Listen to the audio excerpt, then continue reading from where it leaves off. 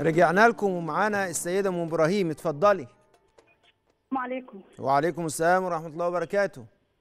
أه وحضرتك أنا كنت سامعة البرنامج من الأول كنت بتقول إن إحنا المفروض إن إحنا ندي لاولادنا يعني أصل أنا هقول لك الحكاية من الأول.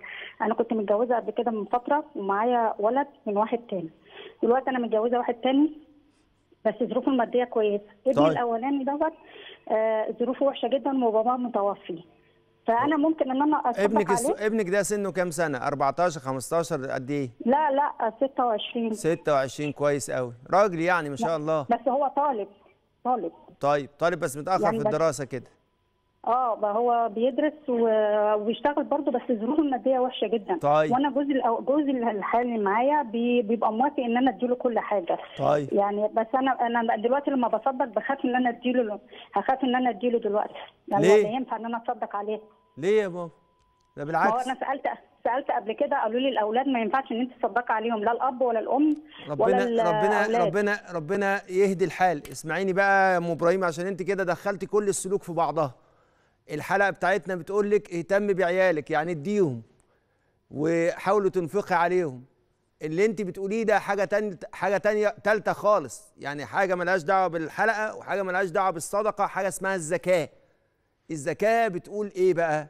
الزكاة بتقول إن أنا ما ينفعش أدي من الزكاة مش إن أنا ما ينفعش أدي لاولادي تاني الزكاة بتقول ما ينفعش أدي الزكاة لأولادي مهما نزلوا يعني ابني وابن ابني أو ولغايه بقى لما نوصل للآخر أو الأصول بتاعتي أبويا وأبو أبويا لغاية فوق اللي هو جدي يعني. ما ينفعش اديلهم الزكاة. لكن مين قال ده ده أنا صدقتي على أولادي الفلوس اللي بديها لاولادي ليها ثوابين ثواب الصدقة وثواب القرابة. فمين قال لك إن أنت ما تديش لاولادك أنا خايف يا أم إبراهيم إن يكون عندنا شوية وسواس. شيلي من عندك الوسواس ودي لاولادك تص... انفقي لاولادك وساعديهم عشان ربنا سبحانه وتعالى يكرمك.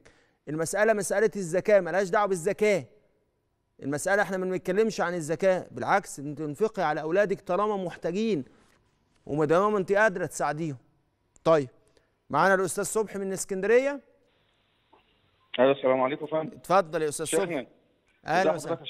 الحمد لله بخير. رب. الله يكرمكم يا سيدي. ربنا يجازيك خير يا شيخ يا رب إن شاء الله. الله امين يا رب أنا وأنت.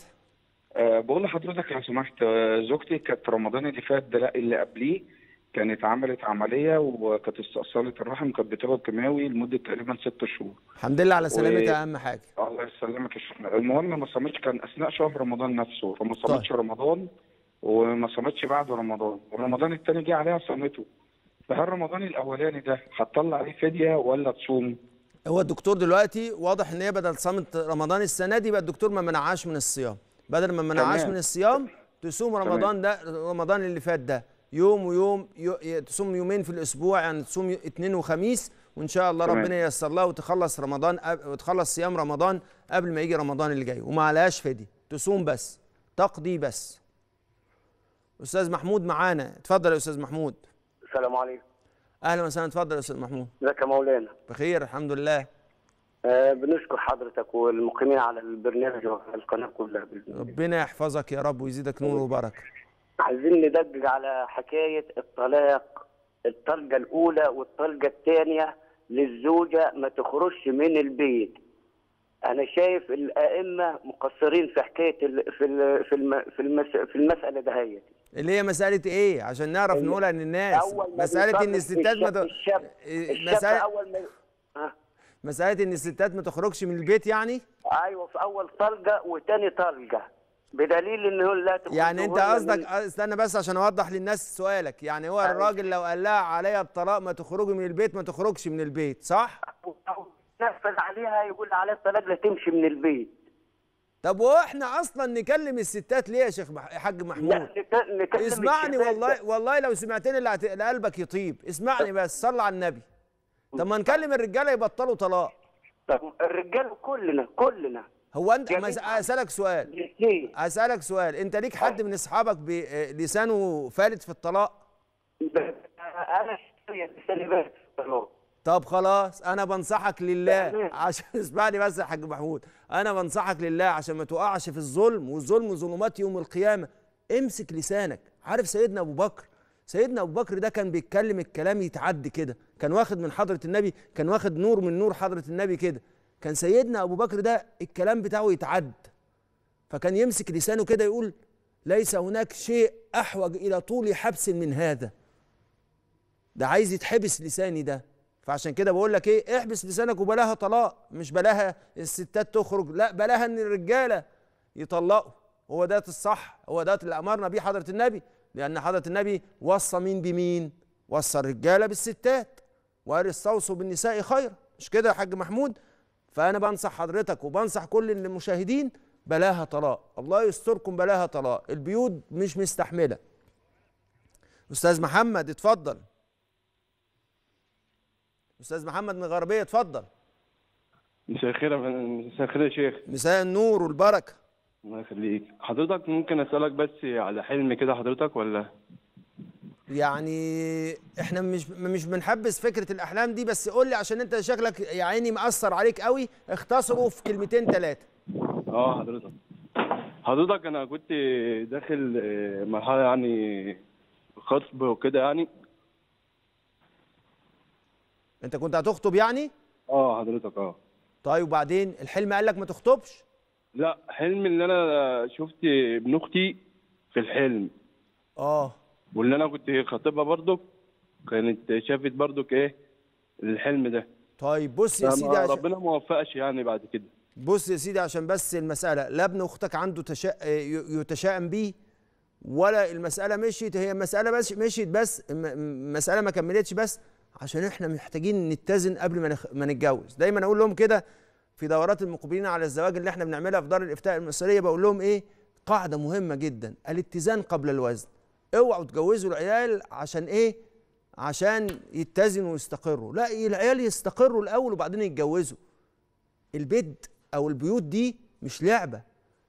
الاتزان قبل الوزن تتزن قبل ما تتجوز. فأنتوا محتاجين تهدوا أنتوا الاثنين شوية لأن إذا كانت الأحلام بتأثر في قراراتكم الزوجية ده مش هي... مش حاجة مش كويسة خالص. إحنا ما بناخدش قراراتنا من الأحلام ولا من الرؤى. خالص. اللي كانوا بيعملوا كده الأنبياء لأنهم ده بيوحى إليهم. إحنا ما بيوحاش إلينا. فإحنا نعمل إيه؟ ما بناخدش قراراتنا من الأحلام والمنامات. ولا بنتخذ قرارات لا بجواز ولا بطلاق من المنام. فأنا بس رسالتي للسيد محمد إن هو يعمل كده. ويا جماعة بطلوا الحكاية دي. الحكاية دي بتدل على ضعف في الشخصية. وفي بعض الأحيان بتدل على عدم توفيق. الراجل الموفق إن هو ياخد قراره بناء على أوامر ربنا سبحانه وتعالى وهدي حضرة النبي صلى الله عليه وسلم إن هو يتجنب الظلم وإن هو يأخذ بالأسباب وإن هو يتقي الله سبحانه وتعالى في الناس. السيدة أم أحمد تتفضل. السلام عليكم. وعليكم السلام ورحمة الله وبركاته. ازي حضرتك يا شيخ؟ الحمد يا لله شيخ. بخير. طب بس في هو سؤال بس. هو في إيه رأي الدين في الزوجة اللي بتكون حامل وبتجلد نفسها لمجرد إن هي عرفت إن زوجها مريض ومحجوز يعني في المستشفى إن هو مريض وتعبان وابتدى يغسل كده. أول ما عرفت كده أجهضت نفسها لدرجة إن هو لما عرف يعني بكى. كان في الشهر الكام ده؟ لا أنا مش عارفة بصراحة مش عارفة لا إزاي الكلام ده؟ ده المسألة دي مهمة قوي بس هو كان عارفة ليه؟ عارفة ليه يا. حاج أم أحمد؟ عارفة ليه يا حاج أم أيوة. أحمد؟ لأن أيوة. بعد ما بعد ما انت هتسمعيني هتروح واخده الفيديو ده اللي انت هتسمعيني فيه دلوقتي وتقولي لها شفتي الشيخ بيقول عليك ان انت آه، حرام عليكي وانت الايجاد ده كان حرام وما أعرفش إيه. ولذلك في مسألة الايجاد إحنا بنعمل لها لجنة.